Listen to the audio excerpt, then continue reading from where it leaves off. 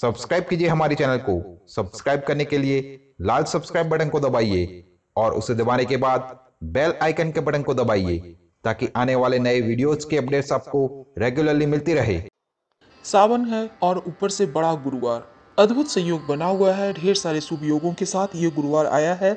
तो सबसे पहले हम बात करते हैं, अगर आपका विवाह नहीं हो पा रहा है, तब आप गुरुवार के दिन से ये उपाय शुरू करें और कम से कम 40 दिनों तक या फिर 27 दिनों तक लगातार कीजिएगा।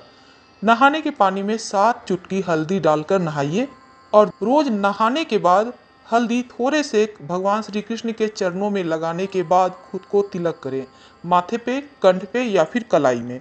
ऐसा करने से आपका बृहस्पति मज़बूत होता है और विवाह के योग बनने लगते हैं। जीवन में धन की परेशानी हो, तब हल्दी की सात गांठें पीले रंग के कपड़े में रखें और थोड़े से अक्षत, नारियल, एक सुपारी और दो चार सिक्के रख लें और उस रुमाल को अच्छे से बांधकर अपने तिजोरी में रख दें। धन संपदा बनी रहेगी, बरकत होती रहेगी। अब हम आपको एक और उपाय बताएँगे। अब हम बता दें चूँकि गुरुवार का दिन है, बहुत शुभ योग बन रहे हैं तो आप क्या करेंगे?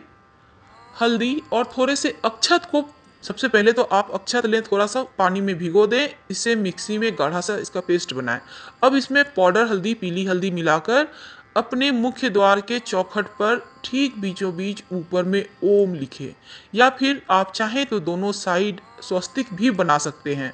बुरी आत्माओं से, नज़र दोष से, तांत्रिक क्रियाओं से टोने टोटके से बचे रहेंगे, सुरक्षित और शिव जी की भी कृपा मिलती रहेगी। माँ लक्ष्मी भी प्रसन्न रहेंगी। तमाम तरह के दोषों से सुरक्षित बने रहेंगे, वास्तु दोष भी दूर हो जाएगा। तो दोस्तों, इनमें से कोई भी उपाय जो आपको लगे सही है, वो उपाय ज़रूर करें।